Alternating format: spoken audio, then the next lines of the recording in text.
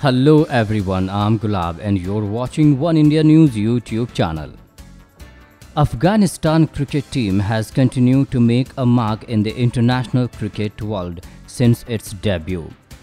Afghanistan recently made the headlines when they were awarded test status along with Ireland. Afghanistan cricketers too are in a habit of being in headlines. Players like Adil Rashid made a huge impact in the IPL. Yet another Afghani player created a record by scoring 200 in a local T20 tournament called Paragon Nangarhar Champion Trophy of just 71 deliveries. Supported by his own brother Waheedullah Shafaq, who struck 81 from 31 balls, Shafiqullah smashed 214 runs off just 71 balls with the help of 21 sixes and 16 fours against the Kabul Star Cricket Club team. Their combined efforts led them putting a total of 351 on the scoreboard in just 20 overs.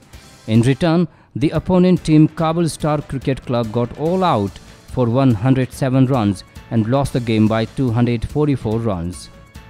Shafiqullah Shafaq is a regular T20 player who has represented Afghanistan national team in three editions of ICC World T20.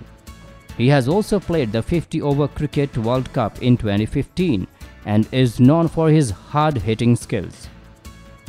In 2014, while playing against Hong Kong in World T20 2014, he smashed a 24-ball 50 after which Afghanistan won their first T20 game in World T20 history. Well, that's all in this video for now. For more news and updates, don't forget to subscribe to One India News YouTube channel.